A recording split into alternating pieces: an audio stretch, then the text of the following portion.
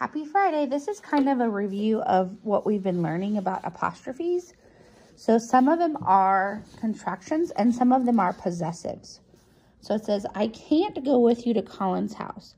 So can't is a contraction.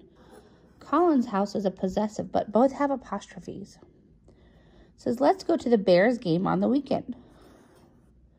So that's a contraction. This is a possessive. I don't think my dad's hat will fit me. Don't is a contraction.